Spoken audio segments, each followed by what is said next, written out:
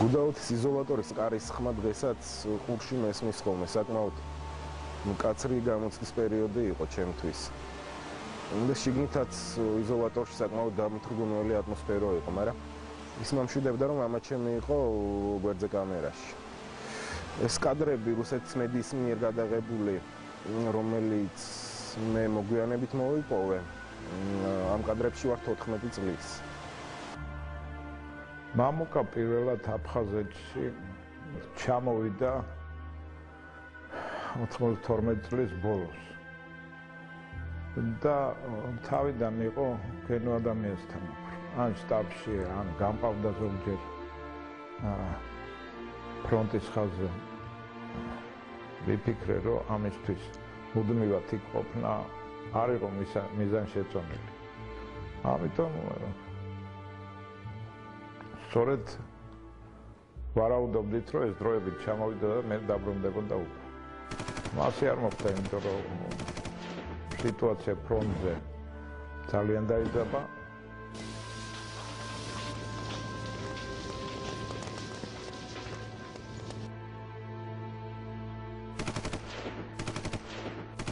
ძალიან მიჭირს იმ პერიოდის გახსენება. ეს იყო ჩვენი ოჯახისთვის ერთ-ერთი ურთულესი პერიოდი.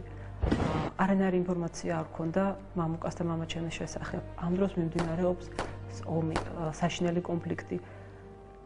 აა მამუკაზე ძალიან ნერვიულობდი. მამაჩემი გენერალია და მან თავის საქმე კი იცის. კვირების განმავლობაში აღძინებია მე და დედა ჩემს. ამ პერიოდში ზუსტად მოგვიდა ინფორმაცია, რომ დაიხოცნენ. თქვენ ხო წარმოგიდგენიათ ეს რამხელა ტრაგედია იყო ჩვენთვის? Про мамуку никто не мог сказать, что он сын. მამუკაზე ვერავინ იტყოდა, რომ ის გენერლის ან ქვედანაყოფის უბროსი შვილი იყო. ის დავალებებს ისე ასრულებდა, როგორც დანარჩენი რიგითი მეომრები. ერთხელ შეტაკებიდან ბაზაზე საკმაოდ დაღლილები უბრუნდებოდით და ამ დროს მოულოდნელად მოწინააღმდეგის ალყაში მოვყევით. გამოსავალი არ იყო, არადა მათთან წინააღმდეგობას ვეღარ გავუძლებდით.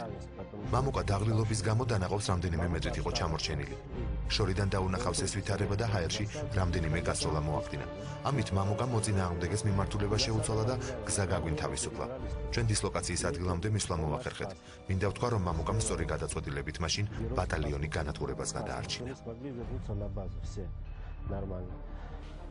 ვასათიანი ბრძოლების შემდეგ სიჩუმე ჩამოვარდა. იმ მომენტში ავანილი იყო ჩვენი ერთ-ერთი მებრძოლის ოჯახი. იქაური იყო ეს მებრძოლი. პერიპეტიებზე მე არაფერს მოყვები, მაგრამ ერთს კი ვიტყვი, რომ ცოლი გამოუშვეს ამ მებრძოლისა ჩემთან. და უნდა გადამეწყვიტა მზიას თქმით. აფხაზების პირობა იყო ესეთი. რომ ხუთ წუთში უნდა ჩაბარებულიყო. თუ მე ჩაბარდებოდი, ბუნებრივია, ამით დამთავრდებოდა ეს ბრძოლა და სათანადოდ ის ბავშვები და მზია გადარჩებოდა. თუ გინდათ რომ ცოცხლები დააგტოვოთო, მხარიო გენერალს რო ჩავბარდესო. მე ერთი ბავშვით წავედი, რა თქმა უნდა, ინსტინქტურად, ну, რა ვიცი, რაღაცნაირად. ჯერ ყველას რომ მოვკიდე ხელი წასაყვნად, არა, არა, ისინი დატოვეო მithres და ორივე ხელიდან გამომგლიჯეს ის ფერზე რომლებიც დადიოდა და ეს პატარა ავიშვი და წავიყვანე უკან. მივედი იქ, სადაც ჩვენები იყვნენ და გენერალთან დაბარებული იმ წუთას არ დამხვდა ბატონი ზურაბი დასული იყო. და მე შემოვიდა და უთხარი ხარ რაც დამაბარეს მომენტს. მაშინ მამაჩემ საკმაოდ ძიმე გადაწყვეტილების მიღება მოუწია. ამ ქართული ოჯახის და სამი ცირეწლოვანი ბავშვისგან სულ თუნდაც ჩაუბარებული ყავით ტყვეთ და ჩვენთან ერთად მთელი ქვედანაყოფი. მიუხედავად გადაწყვეტილების სიმძიმისა ძალიან სწრაფად მიიღო გადაწყვეტილება და მახსოვს სხვებთან ერთად იარაღი მიწაზე დავდე. ის ღამე ჩვენი დისლოკაციის ადგილზე გაგვატარებინეს ღია ცის ქვეშ. დილით გარდაცვლილი მეომრები სათანადო პატივი მიიღეთ დაუგრძალეთ და დილით უკვე მოვიდა მანქანები ჩვენ წასაყვანად გუდაუთაში. როდესაც თქვენ ჩაუბარდით და მანქანებზე ავყავდით, მამუკამ ერთ-ერთ აფხას წინააღმდეგობა გაუწია. სასტიკად ცემეს. ძალიან ნერვიულობდით როგორ გადაიტანდა ამ წამებას. მანქანებმა გეზი გუდაუთისკენ აიღეს. გზაში გვაჩერებდნენ. და გვცემდნენ იმის გულისთვის რომ ქართველები ვიყავდით. თან ამობდნენ რომ მანქანებში გენერალი და მისი შვილი იყვნენ. გუდაუთაში როდესაც მივედით საგნებში გაგვანაწილეს. მე მამუკას გვერდით საგანში მოხვდი. სასტიკად ცემდნენ. მოტეხილობებიც კი ქონდა ცემისაგან. სამი დღის შემდეგ წარმოუდგენელი რამ მოხდა. მამუკა დასახლებად გაიყვანეს. მაგრამ საბედნიეროდ ეს მათი მორიგი ფსიქოლოგიური ზეწოლა იყო. მამუკა მამას სამი თვე გაუძრო.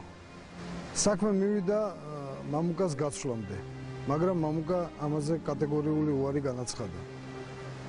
მაგრამ მამამისის მოთხოვნით მამუკამ დაუჯერა მამამის და გაცვალეს ერთ-ერთი აფხაზი ჩინოვნიკის შვილზე. ესე იგი, როდესაც საუბრობდით, აი 14 წლის ბავშვის ტყვეობის შესახებ, აი მამუკას ისტორიები რაც მოვისმინე რა.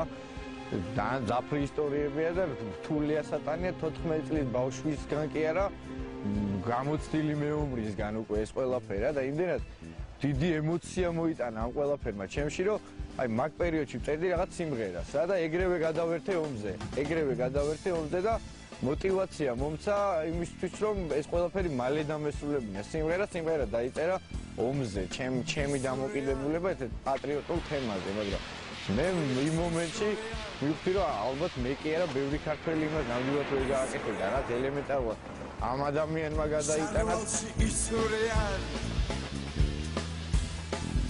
ისურიან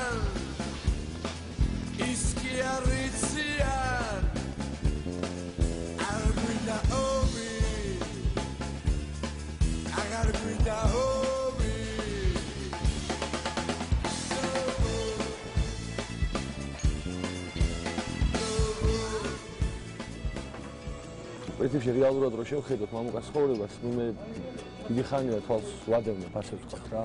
და ვარ მონაწილე ანუ სულიერი მონაწილე და სამწუხაროდ ფიზიკური მონაწილე არ ვარ რა ცხოვრებას მან გაიარა იმიტომ რომ მე ვთვლი რომ ესეთი ცხოვრება არის ძალიან რთული ძალიან საპასუხისმგებლო და ისეთი რომელიც ალბათ ყველა ვერ შეძლებს. შეიძლება მე ეს ვერ შემეძლო იმიტომ რომ როცა სულ ვისმენ ხოლმე და სულ ვეკითხები ეს თავის ისტორიებს ალბათ ძალიან რთულია ყველა ადამიანისთვის რა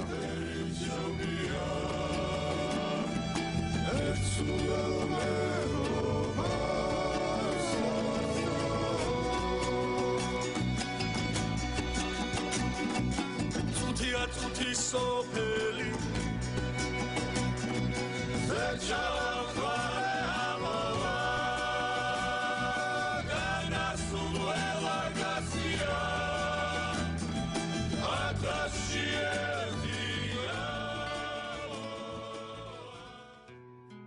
ომი რო დასრულდა, მამუკამ გადაწყვიტა რომ სწავლა გაეგრძელებინა. ერთი წლის განმავლობაში ემზადებოდა. და მოეწყო შავი ზღვის საერთაშორისო უნივერსიტეტში ეკონომიკის ფაკულტეტზე ჩააბარა. ცოტა მერიდება ამის თქვა, მაგრამ ერთ-ერთი ყველაზე წარჩინებული სტუდენტი იყო ამ უნივერსიტეტში. მას შემდეგ, რაც უნივერსიტეტი დაამთავრა, ამგამ გაწყვიტა, რომ კიდე გაეგრძელებინა სწავლა და საფრანგეთში დიპლომატიურ და სტრატეგიულ მეცნიერებათა ცენტრში ჩააბარა. და დღეს მამუკა მაგისტრის ხარისხი აქვს. მამუკა very good student. მამუკა მართლა კარგი სტუდენტი იყო. ერთ-ერთი წარჩინებული. მეგობრული. თავიდან ის სულ ომზე ლაპარაკობდა. მაგრამ ეს ბუნებრივი იყო და ჩვენს გესმოდამისი. არც ეთყობოდა რომ ამ ხელა სტრესი ქონდა გადატანილი. მასზე ბევრი კარგი თქმა შემიძლია, მაგრამ მინდა არ გამომჩეს რომ ის ძალიან კარგად ხატავს. მართალია უფრო ომის თემატიკაზე, მაგრამ კარგი ნამუშევრები აქვს. მას თავისი ტყეობის პერიოდის მთელი სერია აქვს დახატული. მამუკა შესანიშნავად წერს და მე მიმაჩნია რომ მისი რუსული და ინგლისურად ნათარგმნი პეტრე იბერი ერთ-ერთი საუკეთესო ნამუშევარია.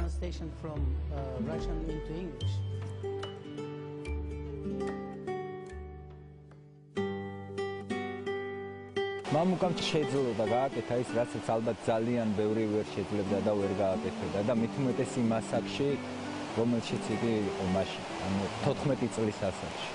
მიუხედავად ომის ამ საშინელი ტყვეობისა, ყველაფრისა, რაც საშინელებაც მან ნახა და გამოიარა, მან მოახდინა საკუთარი თავის რეაბილიტაცია. გაიარა ეს ყველაფერი და შეძლო რომ ჩამოყალიბებულიყო წარმატებულ ადამიანად. მამუკამ ჩამოაყალიბა ტყვეთნაყოფთა არასამთავრობო ორგანიზაცია, რომელიც შეძლების დაგვარად ეხმარება აფხაზეთისა და სამაჩაბლოს ომგამოვლილ ოჯახებს. ეხმარება მიაქვს მათთან სხვადასხვა სახის დახმარება და ალბათ მამუკა ამ ყველაფერს იმიტომ აკეთებს, რომ მან ყველაზე კარგად და ყველაზე ზუსტად იცის თუ რას ნიშნავს ეს დახმარება იმ ოჯახებისთვის, რომლებმაც ეს სიმწარე ნახეს. მამუკას სამხედრო ისტორიიდან ზუსტად 17 წელი გავიდა. ამ ხნის განმავლობაში მას სულ აინტერესებდა თუ რა ბედი ეწია ქალბატონ ზიას და მის სამ მცირეწლოვან შვილს, რომელთა თავისუფლების სანაცვლოდ მამუკამ სამი თვე ტყვეობაში გაატარა. ქალბატონი მზია და მამუკა მხოლოდ ახლა 17 წლის შემდეგ შეხვდნენ ერთმანეთს.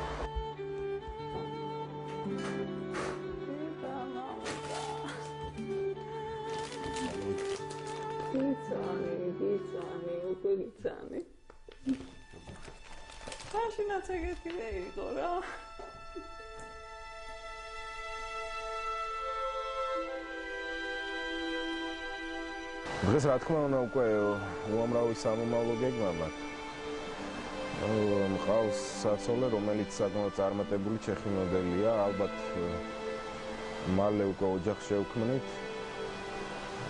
და გვინდა რომ შვიდობიან საქართველოსში ვიცხოვროთ. თუმცა თუ დაჭირდა დღეს საქართველოს ამზათო რომ ემსახურნების მიერ ფონზე იქნება ეს დიპლომატიური თუ პირდაპირ მნიშვნელობით და რაც თავარია გმირები საქართველოსში ყოველთვის უნდა ახლოვდეთ